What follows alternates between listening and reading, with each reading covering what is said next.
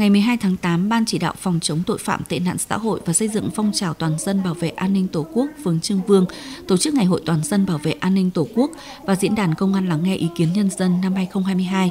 Trong những năm qua, công tác phòng chống tội phạm, tệ nạn xã hội và xây dựng phong trào toàn dân bảo vệ an ninh Tổ quốc tại phường Trương Vương đã đạt những kết quả đáng khích lệ. Nhân dân tích cực phối hợp với lực lượng công an trong công tác đảm bảo an ninh chính trị, trật tự an toàn xã hội trên địa bàn, không để xảy ra tình huống đột xuất bất ngờ, qua đó góp phần quan trọng thực hiện nhiệm vụ phát triển kinh tế xã hội tại địa phương. Tính từ đầu năm 2022 đến nay, người dân đã cung cấp trên 30 tin báo, trong đó có 12 tin giá trị. Ngoài ra, người dân cũng cung cấp nhiều thông tin liên quan đến công tác phòng chống dịch COVID-19, đảm bảo trật tự đô thị, an toàn giao thông, phòng cháy chữa cháy. 8 tháng đầu năm trên địa bàn phường ghi nhận xảy ra 3 vụ vi phạm pháp luật, giảm 9 vụ so với 8 tháng đầu năm 2021. Công an phường đã bắt và xử lý hình sự 2 vụ, hai đối tượng về ma túy, đưa hai đối tượng đi cai nghiện bắt buộc, một đối tượng cai nghiện tự nguyện, lập hồ sơ xử phạt hành chính một vụ, 4 đối tượng đánh bạc, tổ chức tuần tra đêm 120 buổi, trong công tác đăng ký và quản lý cư trú, Công an phường đã tiếp nhận giải quyết đăng ký thường trú 49 hồ sơ, tạm trú 7 hồ sơ.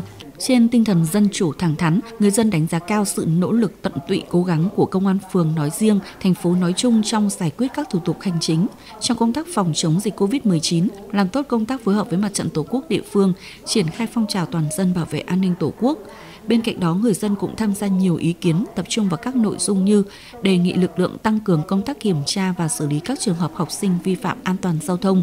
Trong công tác giải quyết thủ tục hành chính cần gần gũi thân thiện với người dân hơn nữa, giám sát sát chặt chẽ các đối tượng được tha tù, cải tạo, cai nghiện trở về địa phương, tăng cường công tác tuần tra đêm –